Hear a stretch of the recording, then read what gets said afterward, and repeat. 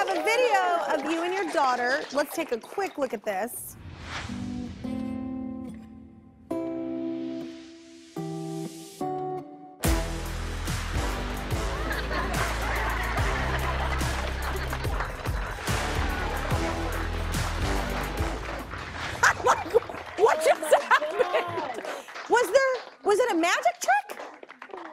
Uh, no, that wasn't magic. No, that was uh, that was how to stitch your dad. Um, she's still Oh. running, by the way.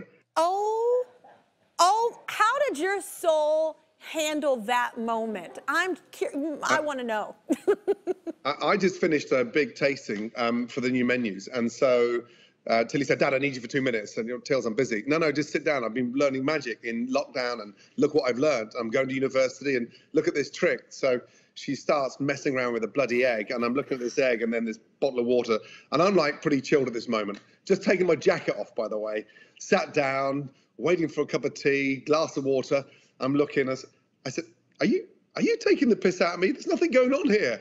And I went to look down, and she squeezed it, and then bang, got this egg and slapped it on the back of my head, man. I mean, she cracked me. I mean, I don't know. oh my God.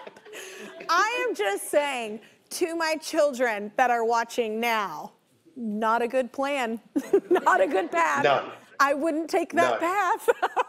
I wouldn't have Yeah, laughed, wait. Gordon. Wait till the allowance comes in for request in terms of I need some money for an apartment, or can I buy Yeah, some gas, or yeah. can I borrow your car? Wait, trust me, she's in for a uh, a rude awakening. Let me tell you. Want more fun stuff? I thought so. Check out these videos floating around my head. This one is really cool. I'm just saying. No pressure.